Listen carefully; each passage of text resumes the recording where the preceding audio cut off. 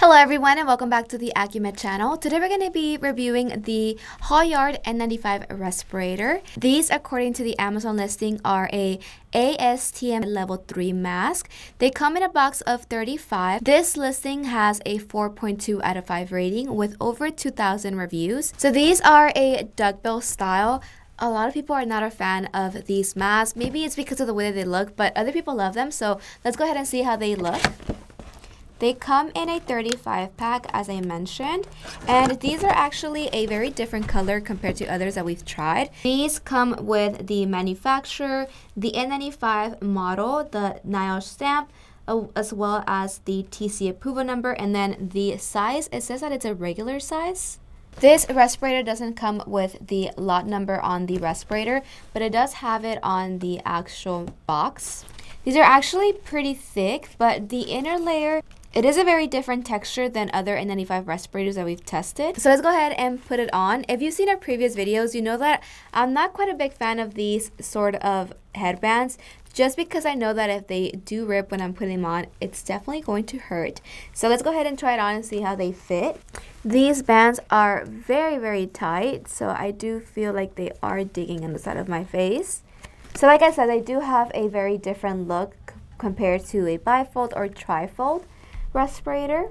So the sturdy nose wire is creating a good seal for me on the top of the face, but I am still getting a little bit of leakage under, under the face mask. I do feel like it is creating a lot of moisture, and maybe it's because of the layers that it has, but I am finding it very difficult to breathe. So with that being said, let's go ahead and see how these test on our TSI machine. We're going to be testing both the filtration efficiency and the pressure drop.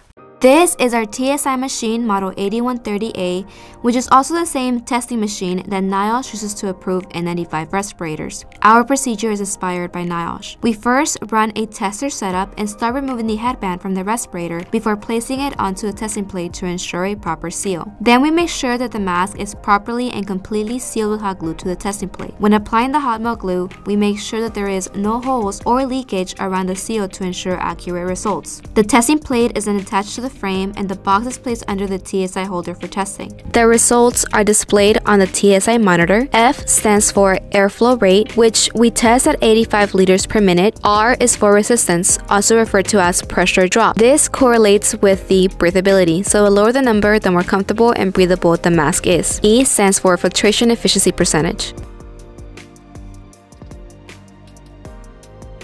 The first sample tested at 96.90% with a pressure drop of 9.8 millimeters of water.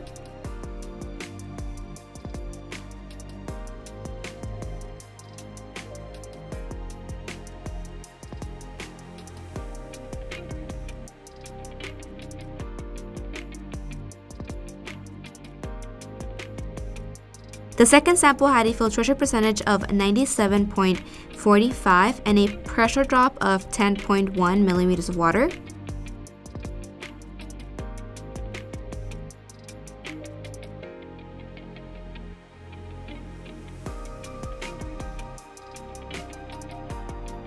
Last sample's filtration percentage was 98.45 and had a pressure drop of 10.3 millimeters of water.